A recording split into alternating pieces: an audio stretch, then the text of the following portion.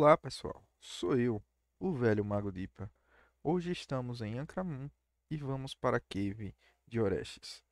Existem dois respes diferentes nesse lugar, um fraco, que tem vários tipos de nômades, e um resp mais forte, que tem diversas criaturas.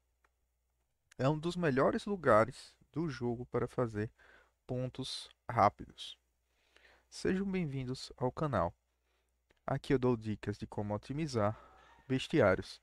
Se gostar dos vídeos, se inscreva, deixe um like e fique à vontade para comentar. Quando o resp está forte, temos nesse lugar as seguintes criaturas. Temos uma hiena, não sei falar esse nome pessoal, uma hiena aí diferente. Precisam de mil e dão 25 pontos de charme. Tomb Servant, mil também e mais 25 pontos. Secret Spider, 1000, dando 25 pontos. E Clay Guardian, 1000 kill, dando mais 25 pontos de charme. Então essas criaturas têm mais nos andares de cima.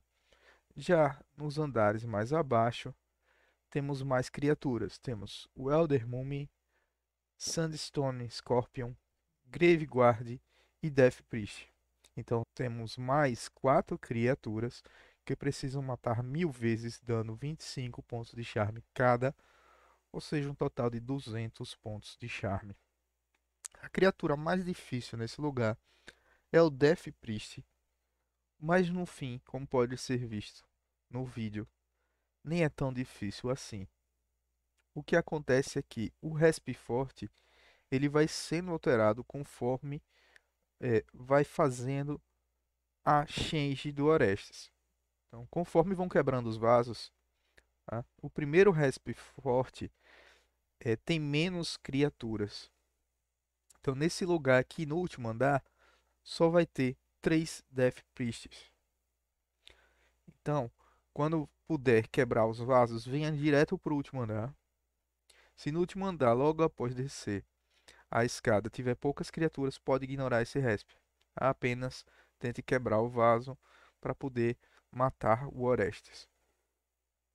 Se tiver cheio de criaturas, aí sim você pode caçar aqui, tá? O ideal é caçar nos dois últimos andares, onde tem mais Death Priest e Grave Guard, tá? São as criaturas aí que vai dar mais trabalho para finalizar.